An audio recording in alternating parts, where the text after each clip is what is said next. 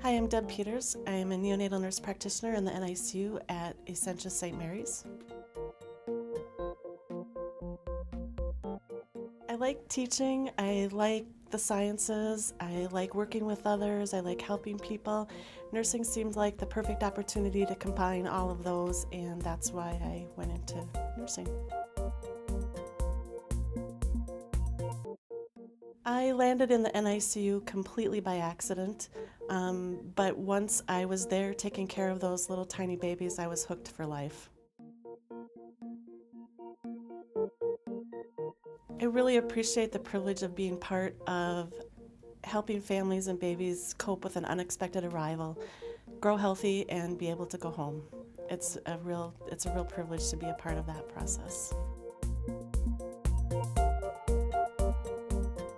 In, in my case, the patients includes their families, and what I tell them is to be sure and speak up, ask questions. We are there to partner with them to provide the best care possible for their baby and make it as positive of an experience as it can be.